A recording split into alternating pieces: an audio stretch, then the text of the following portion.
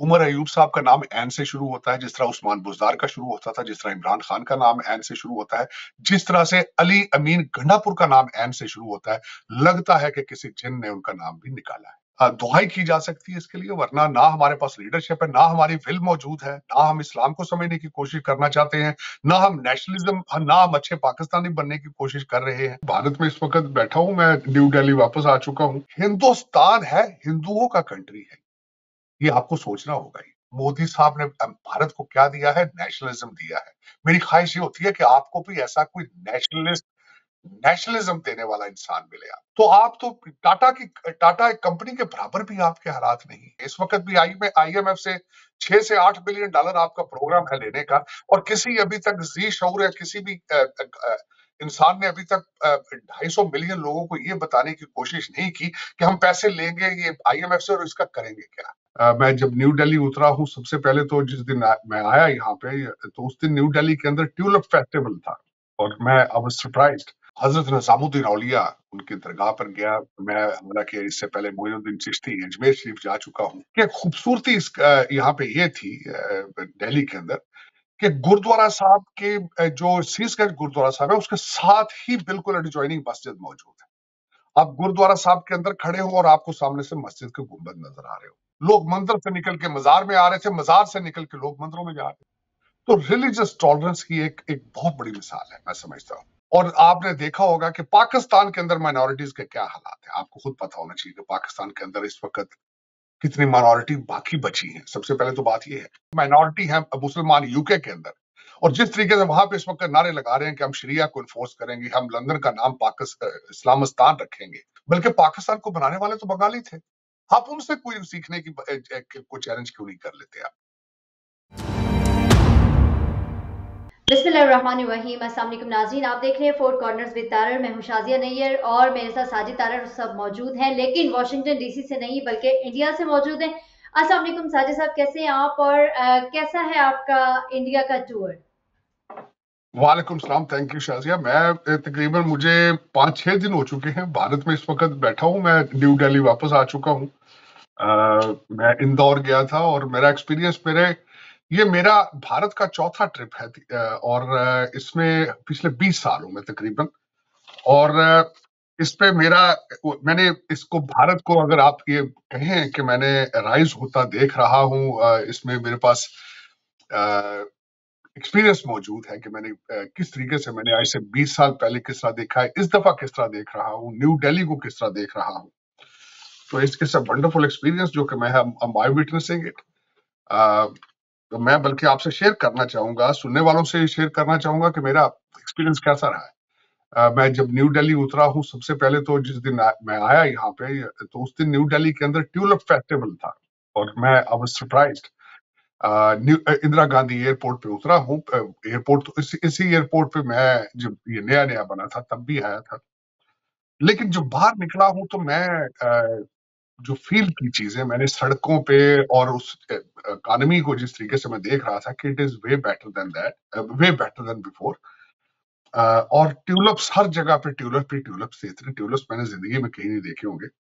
Remarkable और दूसरा उस वक्त जब मैं आया तो एक और बड़ी बात थी कि रेसिना समिट हो रही थी और पंद्रह फॉरेन मिनिस्टर जो थे, वो कुछ थोड़ा थोड़े दिन पहले फरवरी में यहाँ पे इकट्ठे हुए उस समिट के अंदर कि चीफ चीफ गेस्ट जिसको बनाया गया वो ग्रीक के प्राइम मिनिस्टर थे, उनको बनाया गया, वो भी यहाँ आए थे।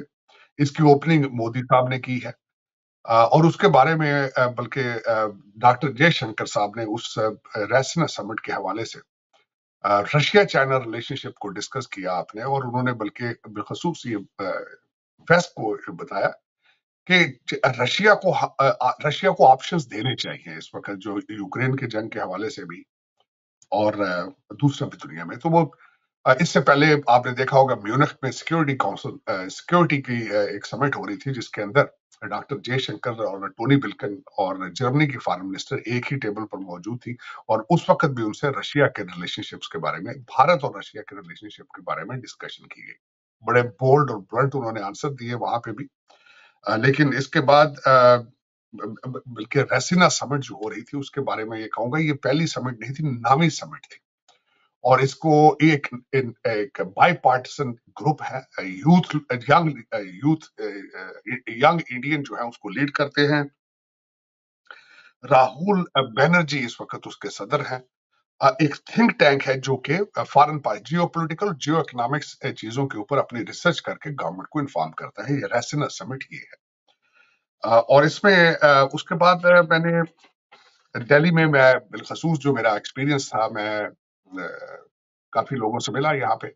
लेकिन जो मेरा एक एक्सपीरियंस ये था कि मैं इस दफ़ा जो हज़रत नजामुद्दीन औलिया उनकी दरगाह पर गया। मैं, हालाँकि इससे पहले मोइनुद्दीन चिश्ती अजमेर शरीफ जा चुका हूँ। लेकिन मैं हज़रत नजामुद्दीन औलिया की दरगाह पर नहीं गया था। ये मतलब बड़ा एक रूहानी एक मेरे लिए एक्सपीरियंस था। उसके बाद मैं जिस तरह पहले भी यहाँ आता हूँ तो मैं मुख्तलिफ़ मजाहब की जगह पे जाता हूँ। उसके बाद मेरा दिल्ली के अंदर सीसगंज गुरुद्वारा साहब चांदनी चौक, वहाँ जाने का इतफाक हुआ। और वहाँ एक मैं ज़बरदस्त एक्सपीरियंस पहले भी मुझे पता तो था, क्योंकि मैं पहले भी वहाँ जा चुका हूँ। लेकिन इस दफ़ा फिर दोबारा आपको मैं मेंशन करना चाहूँगा कि खूबसूरती इस यहाँ पे ये थी दिल्ली के अंदर। कि गुरुद्वारा साहब के जो सीसगंज गुरुद्वारा साहब है उसके साथ ही बिल्कुल एडजॉइनिंग मस्जिद मौजूद है। आप गुरुद्वारा साहब के अंदर खड़े हो और आपको सामने से मस्जिद के गुंबद नज़र आ रहे हो। तो रिलीजियस टॉलरेंस की एक एक बहुत बड़ी मिसाल है मैं समझता हूँ। ये पाकिस्तान के अंदर इसलिए मौजूद रही। जी, जी। आपने कहा रिलीजियस टॉलरेंस लेकिन जो चीज़ें मीडिया पे नज़र आ रही होती हैं जो वहाँ पे मुसलमानों के साथ जो हो रहा होता है मैं स्पेशली वो पूछना चाहूँगी कि वहाँ पे हम लोग देखते हैं मीडिया में जो रिपोर्ट हो रहा होता है कि मुसलमानों के साथ उनका रवैया ठीक नहीं है, मुसलमानों की नस्ल खुशी की जाती है, उनको ज़बरदस्ती जो है वो दूसरे मजाहब में कन्वर्ट करने के लिए पैसे लगाए जाते हैं फंड्स दिए जाते हैं। मैं चाहूँगी कि आप, क्योंकि वहाँ पर मौजूद हैं, आपने ये सारी चीज़ें विटनेस की है, इस हवाले से भी जरा बात कीजिएगा कि वहाँ पे स्पेशली मुसलमानों का जो है तमाम तर जो सूरत हाल है, उनकी क्या सूरत हाल है? क्या किस तरह से वो रह रहे हैं? उनको कितनी मजहबी आज़ादी हासिल है? देखें एक तो एक मैं ये ज़रूर आपको ये बात मेंशन करना चाहूँगा, ये लॉ ऑफ़ द नेचर या ह्यूमन नेचर का एक हिस्सा है कि मेजॉरिटी जहाँ पे जो लोगों की होती है, वहाँ उनके, उनका कल्चर उनके मज़हब जो है, वो अपने मज़हब को प्रमोट करते हैं। और आपने देखा होगा कि पाकिस्तान के अंदर माइनॉरिटीज के क्या हालात है? आपको खुद पता होना चाहिए कि पाकिस्तान के अंदर इस वक्त कितनी माइनॉरिटी बाकी बची है। सबसे पहले तो बात यह है।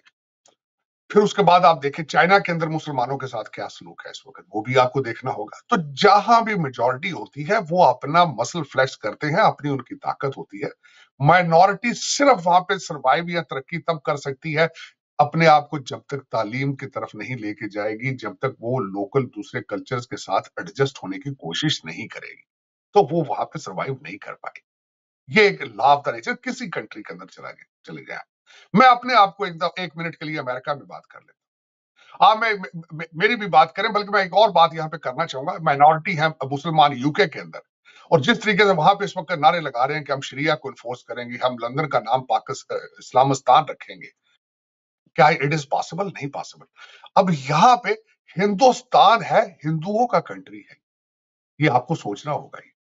यहाँ पे अगर मुसलमानों ने रहना है तो उन्होंने तालीम के लिए उन्हें तालीम याफ्ता होना चाहिए लोकल कल्चर की उन लोकल जो मेजोरिटी है उनके रिलीजन की रिस्पेक्ट के बगैर यहाँ पे गुजारा नहीं होगा उनका।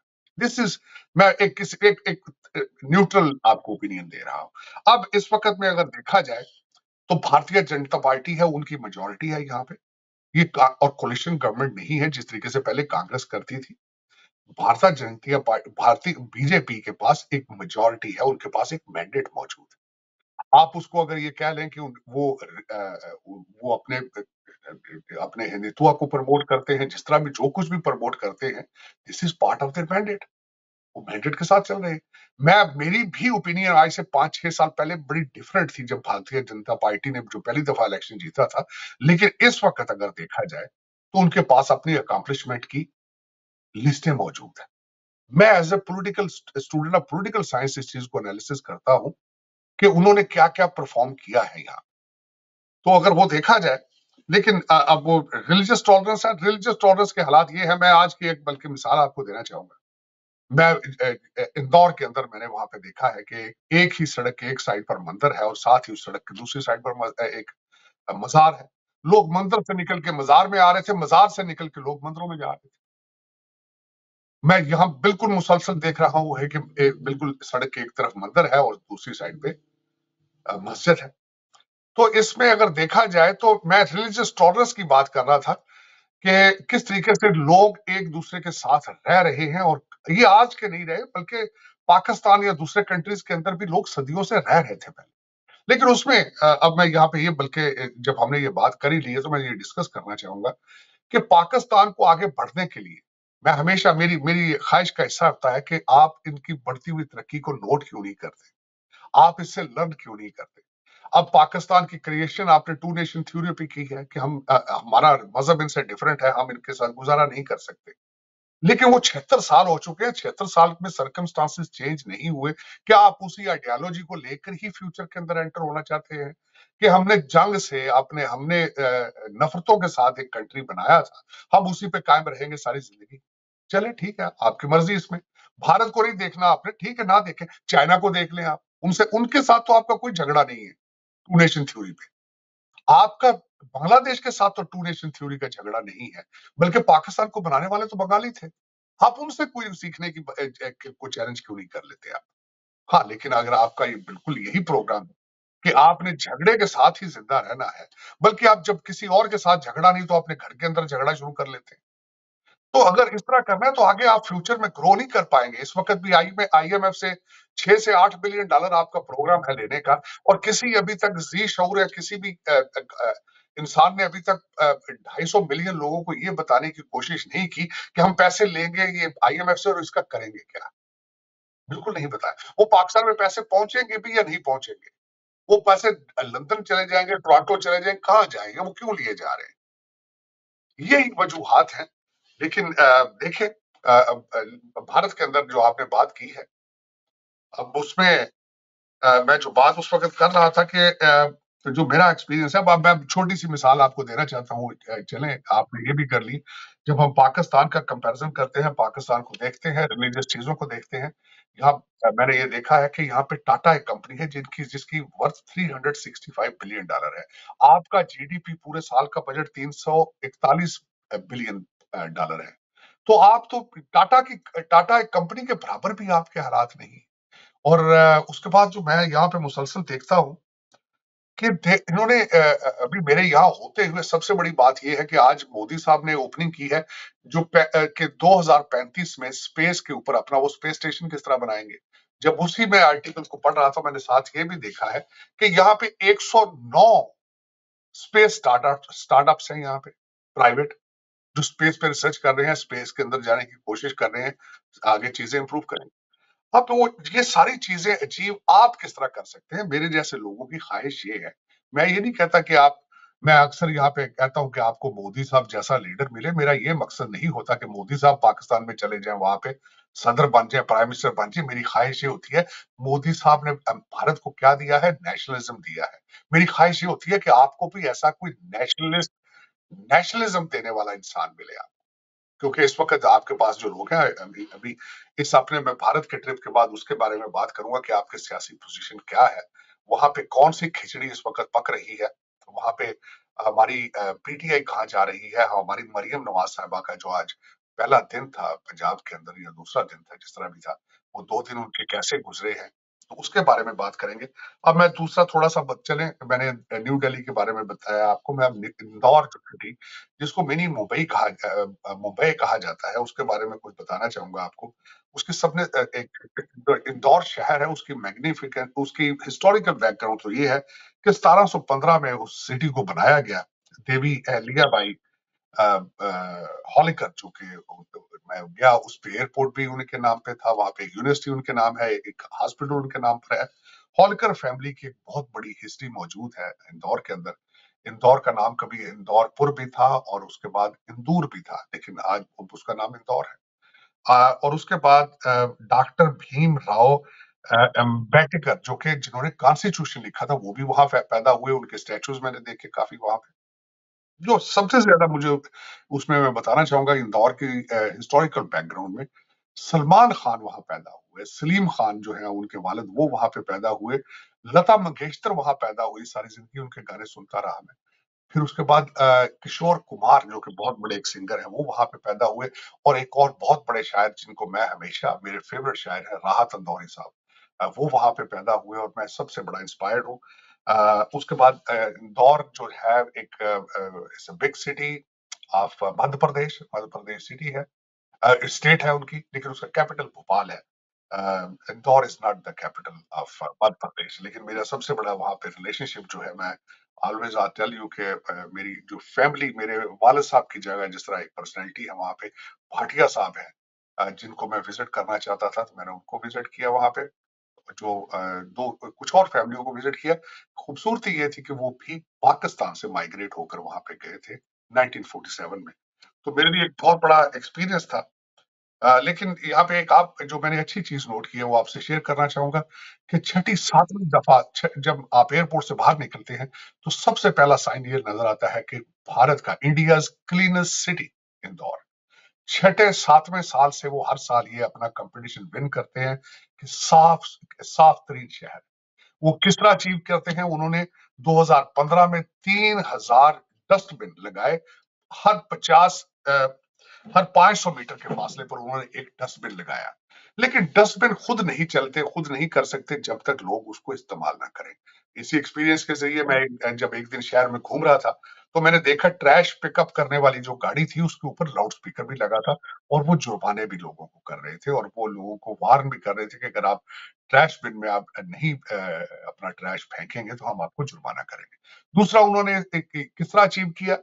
हो, जब घरों से ट्रैश कलेक्ट किया जाता है तो खुश्क ट्रैश अलग रखा जाता है वेट ट्रैश अलग रखा जाता है शुरू से और जो उससे भी आगे चले देखें जो मैं सबसे ज़्यादा हैरान था कि उन्होंने वेस्ट मैनेजमेंट की बेस के ऊपर इसकी इनकम शुरू कर दी। आईएमएस जो यहाँ की उनकी म्यूनिसपैलिटी है, वो तकरीबन पंद्रह करोड़ रुपया वो ट्रैश से इसको रिसाइकल करके बनाते हैं। उसके बाद साढ़े आठ करोड़ के करीब वो कार्बन क्रेडिट है, उसकी बेस पे बनाते हैं। और अमेजिंगली के मैंने देखा है कि बहुत बड़ी इंडस्ट्री वहाँ मौजूद है टेक्सटाइल की, क्योंकि कॉटन बहुत ज़्यादा प्रोड्यूस होती है वहाँ पे। और इंडस्ट्रियल सिटी के तौर पे देखा जाता है, उसका वेदर बड़ा शाम को बड़ा खुशगवार हो जाता है उसको कहा जाता है मालवा वेदर हाजी साहब एक चीज़ का मैं आपसे ज़रूर बात करूँगी कि हम लोग मैंने जब अमेरिका का विज़िट किया तो मैंने ये देखा कि वहाँ पे जो सड़कों के ऊपर साइन बोर्ड्स लगे हुए थे, वहाँ पर जो ओवर स्पीडिंग का जो फाइन था, वो तकरीबन मिनिमम हंड्रेड डॉलर लेकिन जो ट्रैश का था कि अगर हाईवे पे आप ट्रैश फेंकते हैं तो उसके ऊपर ट्वेल्व हंड्रेड डॉलर का फाइन था। तो आप नहीं समझते कि अगर हम पाकिस्तान को भी साफ़ सुथरा रखना चाहें तो वहाँ पे भी इस तरह की चीज़ें की जा सकती हैं, ताकि लोगों में थोड़ी अवेयरनेस आए और थोड़ा डर भी हो, लेकिन हम लोग किस तरह से ये कर सकते हैं कि जैसे आपने अभी कहा कि वहाँ पे लाउड स्पीकर्स पे वो बोलते हैं कि अगर आपने ट्रैश इस तरह से फेंका तो हम फाइन करेंगे। तो आपको नहीं लगता सिविलाइज्ड नेशंस जो हैं, वो अपने माहौल को साफ़ करने के लिए काफ़ी स्ट्रिक्ट स्टेप्स लेती हैं? देखिए, मुझे हमेशा गिला ये रहा है कि हमारा हमारे हमने कभी चीज़ों को समझने की कोशिश नहीं की सही तरीके से। हमारे हमारे मज़हब के अंदर प्रिंसिपल है कि सफ़ाई हमारा निस्फ ईमान है। लेकिन सफ़ाई नहीं रखेंगे, अपने घर के बाहर ही हम ट्रैश फेंक देते हैं। गली एक आप दस करोड़ का घर बना लेंगे, लेकिन उसके सामने ये नहीं सोचेंगे कि यहाँ से गंदा पानी कहाँ जाएगा। ये नहीं देखेंगे कि आपने घर के सामने ही आपने एक ट्रैश का पूरा ढेर बना दिया है। अफसोस है, क्या किया जा सकता हमारे मज़हब के जो पहला लफज है, इस्लाम का वो इकरा है, लेकिन सब सब के सब इन पढ़ हैं। पढ़ने के तरफ़ कोई तवज्जो ही बिल्कुल उसी तरह हमारी सफ़ाई निसफ ईमान है, लेकिन हम सफ़ाई हम नहीं रखना चाहते। हमें नहीं पसंद है इस चीज़ में। तो ये तो फिर एक आप जब तक खुद एज ए सोसाइटी किसी चीज़ के ऊपर अच्छा दूसरा उसमें सबसे बड़ी बात ये होती है कि लीडरशिप कोई लीड करे, आपको बताए, वो भी कोई नहीं। लेकिन बस यही है ये फिर दुहाई की जा सकती है इसके लिए, वरना ना हमारे पास लीडरशिप है, ना हमारी विल मौजूद है, ना हम इस्लाम को समझने की कोशिश करना चाहते हैं, ना हम नेशनलिज्म ना हम अच्छे पाकिस्तानी बनने की कोशिश कर रहे हैं। इसका मैं, मुझे खुद इसका आंसर चाहिए कि हमारी डेस्टिनी क्या है, हमारी डायरेक्शन क्या है, हम जाना कहाँ चाहते हैं? बल्कि इसमें मजीद आगे चल के बड़ी तकलीफ़ दे चीज़ें हम डिस्कस करना चाहते हैं जो इस वक्त पाकिस्तान के अंदर हो रही है।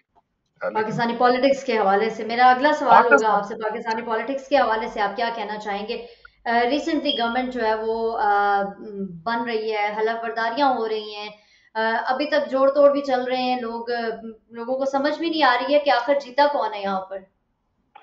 देखिए शाजिया मैंने तकरीबन दस खबरें सियासी खबरें पाकिस्तान की जो है वो सामने मैं इस वक्त रखना चाहूँगा। सामने मेरे लिए बड़ी उसमें से कई स्ट्रेंज है अजीब है मेरे लिए। पहली खबर मैं इससे करना चाहूँगा कि पीटीआई की तरफ़ से वज़ीर आज़म उन्होंने अपने वज़ीर आज़म का ऐलान किया है और जो पिक किया था उमर अयूब साहब को।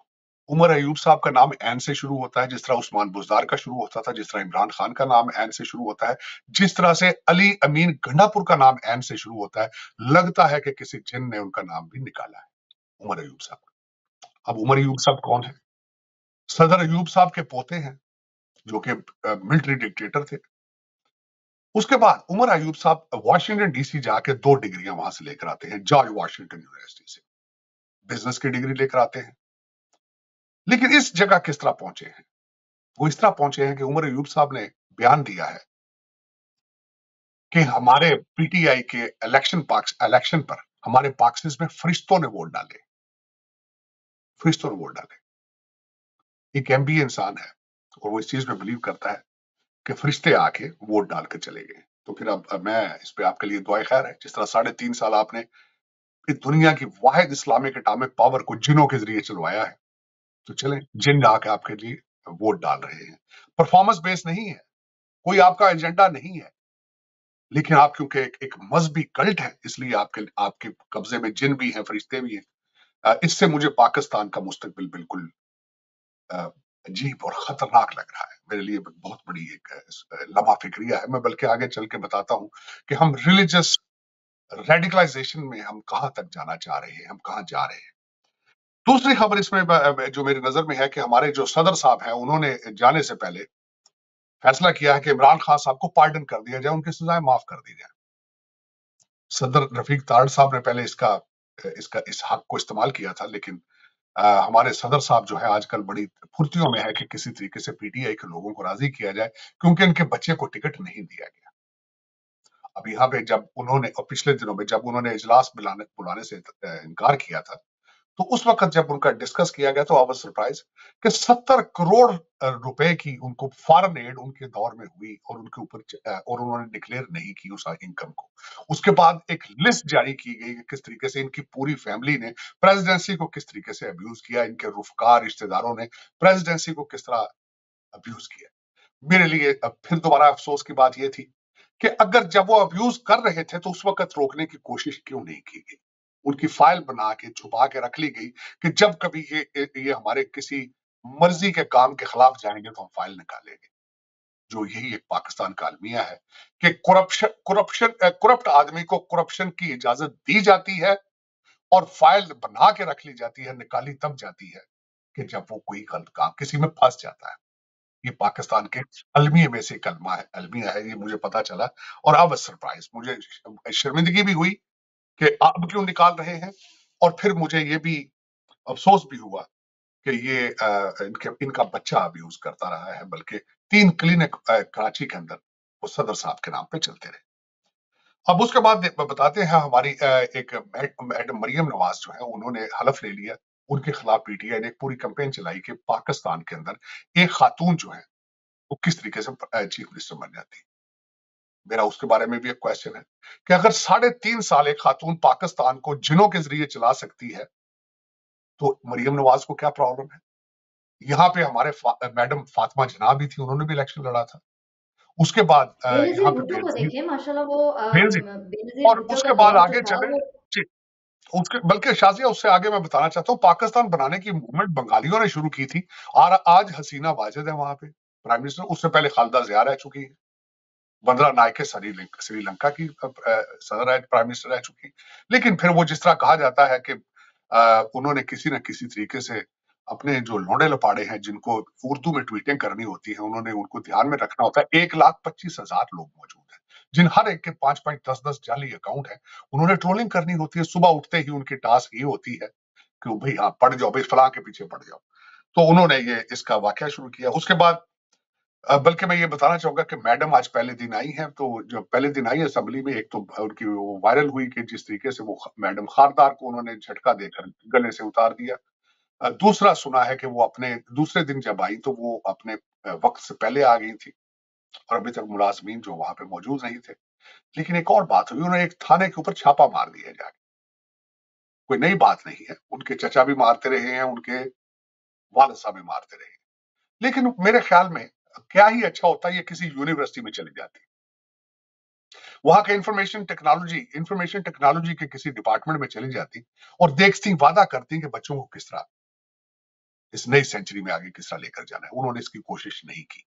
मैडम के लिए मेरी दुआ है कि 735 थाने हैं। अब वो कितने थानों को कवर करती काश ये अच्छा होता और मैं दूसरा भी बताना चाहता हूँ कि मैडम का ये काम नहीं है थानों पे छापा मारना। मैडम को चाहिए था कि कानून साजी करके या इस तरह की कोई कानून बनाते ऑर्डर जारी करते कि सारे थाने किस तरीके से मैनेज करने हैं। कोई तरीका कार वजह कर दे लेकिन उन्होंने जिस तरह उनकी मर्ज़ी। अब उससे आगे चलते हैं बिलावल भुट्टो साहब ने आज कहा है कि सदर साहब हैं, उनके ऊपर दो केसेस जब वो यहाँ से जाएँगे, फ़ौरन दो केसेस बना के इमरान खान साहब के साथ वाले सेल में उनको रख लिया जाएगा। ये भी आज खबर चल रही है। खान साहब ने हमारे यहाँ ये बताना चाहूँगा, सदर साहब ने असेंबली का इजलास बुलाने से इनकार कर दिया था, एक तो इसके ऊपर सजा और दूसरी असेंबलियाँ तोड़ने का। ये दो केसेस बिलावल भुट्टो साहब ने आज कहा है कि इनके ऊपर ये दो केसेस बन सकते हैं। असेंबली ना बुलाने का इजलास का सदर साहब ने कहा कि मेरी असम्बली, मेरी मर्ज़ी मेरी मर्ज़ी की असम्बली आएगी तो मैं इजलास बुलाऊँगा। उनके, उनका इशारा था कि पीटीआई के सारे लोग यहाँ बैठे हो तो फिर मैं इजलास बुलाऊँगा, वरना मैं इजलास नहीं बुलाऊँगा। देखिए, ये पाकिस्तान की बदकिस्मती है कि इस तरह के लोग पाकिस्तान के अंदर मौजूद हैं। उससे आगे चलते हैं, अगली खबर क्या आती है? उस्मान बुजदार साहब का किसी ने रैकेट निकाला कि आज तक पंजाब के किसी चीफ मिनिस्टर ने इतना हेलीकॉप्टर को अब्यूज नहीं किया जितना हमारे वज़ीर आला उस्मान बुजदार साहब। अय्या का नाबदून वैया का नस्ताइन जो है, उस मैंडेट के साथ उन्होंने हेलीकॉप्टर के रैकेट तोड़े। और वो खान साहब, एक एक पीरो मुर्शद, उनके वो वसीम अकरम प्लस थे। लेकिन इसके बारे में लौंडे लपाड़े कोई इसके बारे में अपनी सफ़ाई पेश नहीं करेंगे। ये खबर मेरी नज़र से गुजरी। उसके बाद इमरान खान साहब और मैडम बुशरा के ऊपर दो के, एक नया केस डाल दिया गया है उसका अंदराज हो चुका है कि वो 190 पाउंड 190 मिलियन पाउंड जो उन्होंने मलिक रियाज को जो उनका तोहफा वापस ला के तो जो ट्रेड की थी ज़मीन की प्लाटों की उसका भी आज उसके ऊपर केस जो है वो दायर कर दिया गया। उससे अगली खबर यह है कि असद उमर साहब जो है उनको पहले गिरफ़्तार किया गया। उसके बाद उनको पाँच दिन का उनका रिमांड दिया गया है और उनके ऊपर एलिगेशन है कि उन्होंने चीफ जस्टिस साहब के खिलाफ को कंपेन चलाई थी।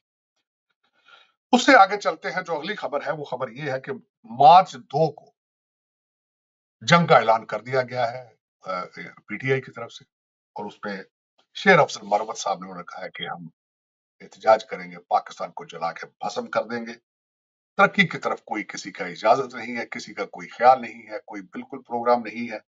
जलाओ घिराव का काम चल रहा है। खान साहब जेल के अंदर से बैठ के भी आईएमएफ के साथ लेटर लिख रहे हैं। उन्होंने कहा है कि लेटर मैंने खुद नहीं लिखा, मैंने डिक्टेट किया था। हालाँकि उनको ये नहीं पता IMF is not interested in opposition party और आईएमएफ इज़ आपने पहले भी दो आपके जो सूबे थे, उनके चीफ मिनिस्टर्स की तरफ़ फाइनेंस मिनिस्टर्स की तरफ़ से आपने धमकी दी थी कि हम आपको किस्तें नहीं देंगे। लेकिन आईएमएफ जो है, वो स्टेट के साथ डील करती है, खासा अपोजिशन पार्टी के साथ डील नहीं करती। लेकिन चले आपकी मर्ज़ी है। पाकिस्तान के अंदर एक ऐसा, बल्कि मेरे लिए, मुझे, मैं भारत में जब कल परसों मुझे खबर आई, मैं यहाँ बैठा था तो कुछ मेरे दोस्तों ने मुझे पूछा कि यार कैसी जेल है कि जेल के अंदर से बैठ के आईएमएफ के साथ कम्युनिकेशन हो रही है? तो मैंने उन्हें बताया, ये जेल थोड़ी है। वो तो हिल्टन में बैठे हैं, जिस तरह मैरियट के अंदर बैठे हैं।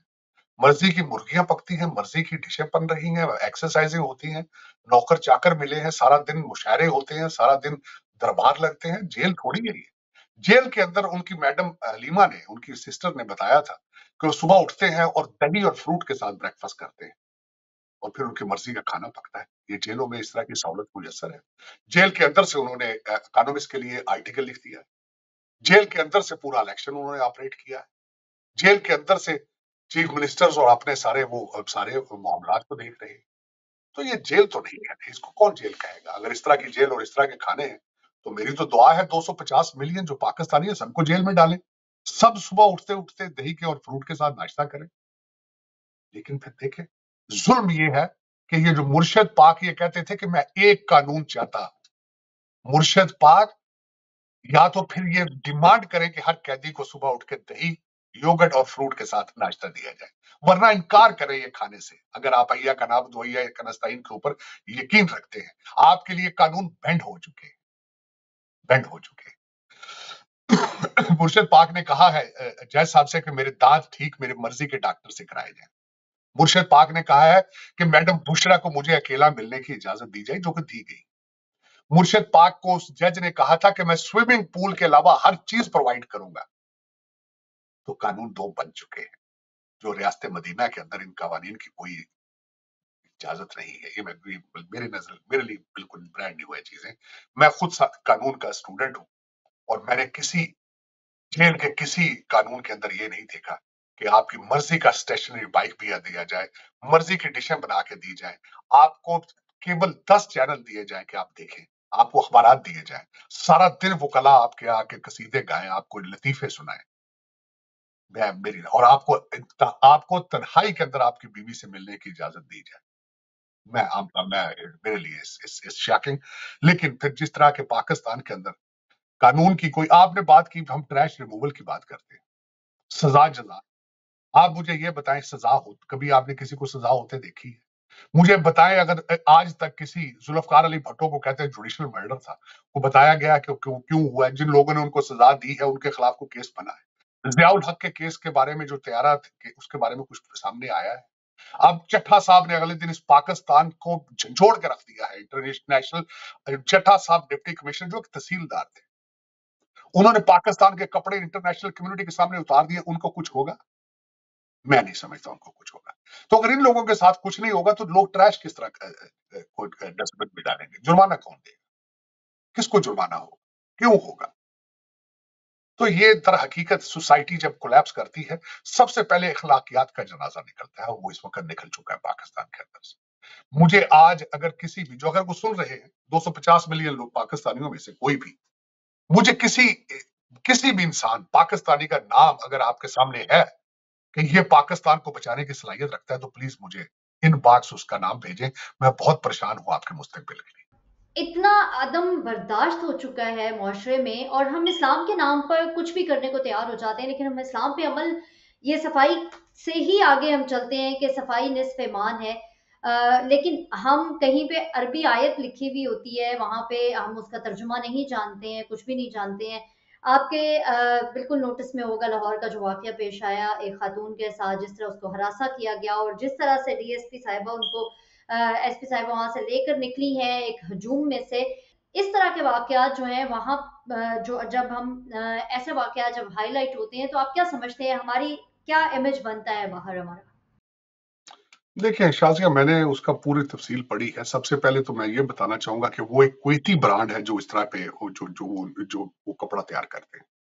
वो कुवैती, उनकी अरबी जबान, उनकी मादरी जबान है। आपकी तो जबान अरबी नहीं है। उसके ऊपर बर्ड हलवा लिखा था जिसके जिसका मतलब होता है खूबसूरत। अब देखिए उसके अगला अलमिया देखें। सबसे पहले तो मैं ये बताना चाहूँगा ये हो क्या रहा है। ये वो पक, फ़सल पक के तैयार हो चुकी है जो आपने बोई थी। आपने अफ़गानिस्तान में पैसा बनाने के लिए डॉलर लूटने के लिए अमेरिका का आपने जिहाद की फ़सल बोई थी। आज वो पक्के तैयार हो चुकी है। और वो फ़सल अंधी है। वो मैं बताता हूँ किस तरह अंधी जिस मौलवी साहब को बुलाया गया कि आप आके फैसला करें कि इस ड्रेस का हमने क्या करना है, जिसने उस खातून को कहा कि ये कपड़े उतारो और बुरका पहनो। उन्होंने ऑन कैमरा बताया कि वो पढ़ नहीं सकते।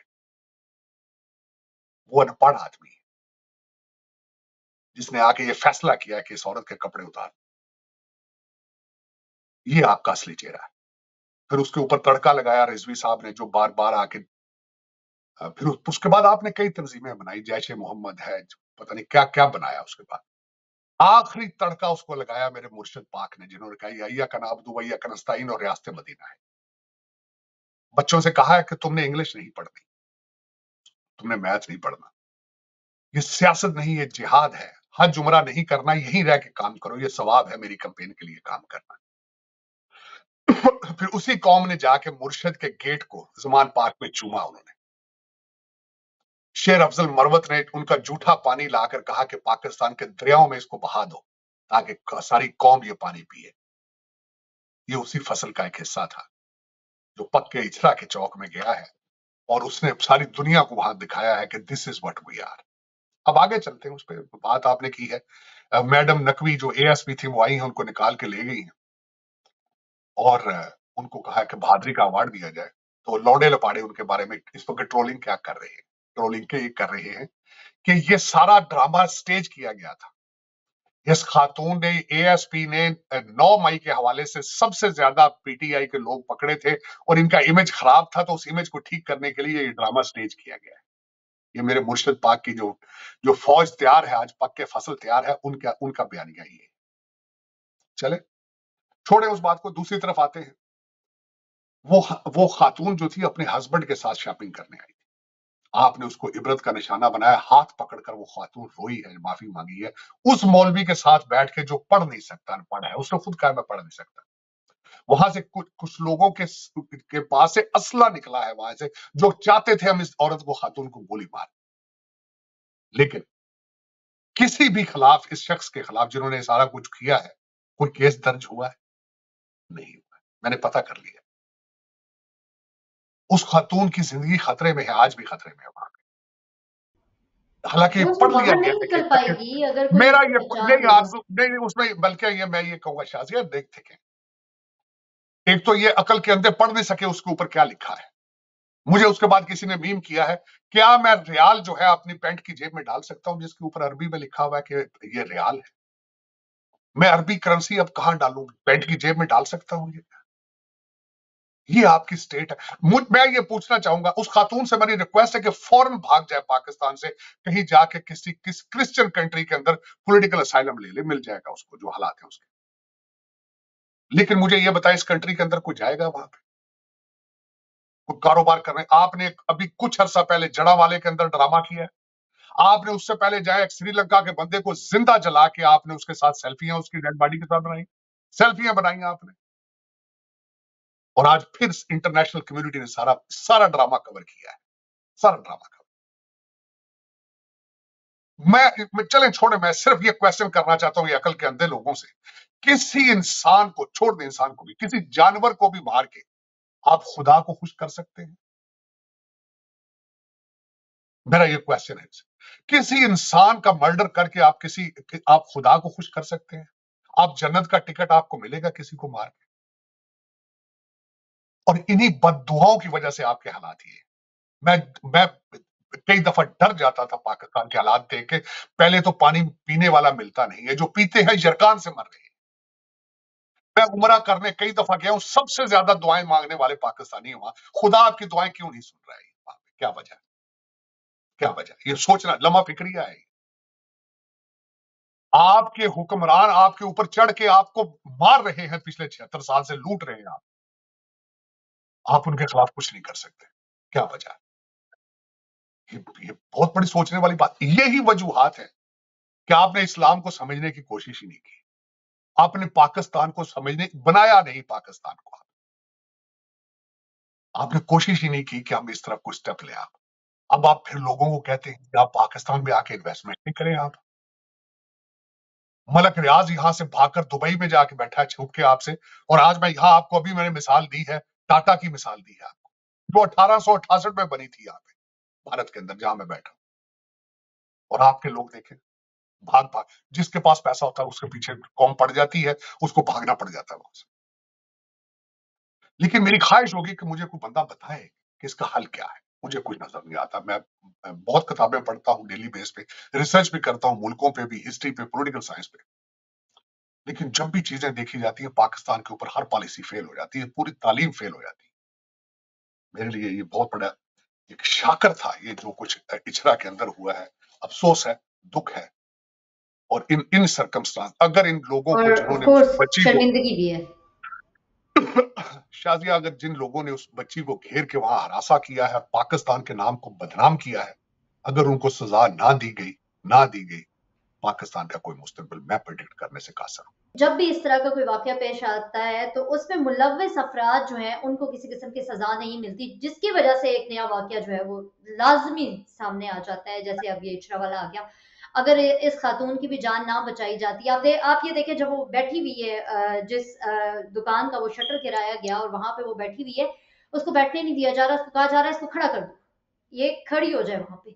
तो वो बेचारी बैठी हुई खड़ी हो जाती है। मतलब इतना खौफ, इतना उसको हरास किया गया कि वो समझ नहीं आ रहा था कि इसका क्या इसका नतीजा क्या निकलेगा। लेकिन जो अफराद वही आपकी बात है, मुलविस होते हैं, उनके खिलाफ किसी किस्म की कोई कार्रवाई नहीं होती और फिर एक नया वाक्य सामने आ जाता है, उसके ऊपर भी वही सेम प्रैक्टिस पुराने वाली दोहराई जाती है। देखिए बस यही, देखिए शाजिया अदालतें नाकाम हो चुकी सिर्फ़ सियासी फैसले कर रही हैं। पिछले पाँच साल से आप देख लें तीन चार अदालतें आजकल जो कुछ भी पीटीआई ने जो कुछ भी करना होता है, पेशावर, आप सुबह पेशावर की हाईकोर्ट में चले जाते हैं। पहले पंजाब के हाई कोर्ट में चले जाते थे, इस्लामाबाद कोर्ट में। मर्ज़ी के जज जज कौम को तो रिलीफ दे ही नहीं रहे ना, सिर्फ़ सियासी, सियासत कर रहे हैं वो। इसका हल क्या में तो जज देख देखिए जिस सोसाइटी के अंदर मैं बहसीत एक वकील जिस सोसाइटी के अंदर सजा जजा नहीं है वो सोसाइटी आगे बढ़ नहीं सकती। बढ़ नहीं सकती। तो देखे तो दुआ करें बेहतरी की तरफ़ आए लेकिन लग नहीं रहा कि जिस तरह इस खातून के साथ जो आज इचरा में हुआ है लोग पढ़े लिखे लोग डर जाएँगे बाहर से जाने लोग डर जाएँगे। मैं खुद खौफ आ रहा है कि कोई पता नहीं मैं पहले ही कहता हूँ Pakistan is a land of unpredictable आप वहाँ पे सिर्फ़ माजी को प्रोडिक्ट कर सकते हैं फ्यूचर के बारे में तो कुछ भी नहीं पता कि क्या होगा। बहुत शुक्रिया साजिद साहब प्रोग्राम का वक्त काफ़ी हद तक आगे जा चुका है। हमारा आ, हमारा कोशिश होती है कि हम लोग शॉर्ट प्रोग्राम करें लेकिन आज का टॉपिक्स इस तरह के थे कि उसके ऊपर हमें टाइम का नहीं पता चला। नाजीन अपना फीडबैक हमें देना ना भूलिएगा और अगले प्रोग्राम तक लिए मुझे और साजिद साहब को इजाज़त दीजिए। अपना बहुत ख्याल रखें। अल्लाह हाफिज़। पाकिस्तान जिंदाबाद।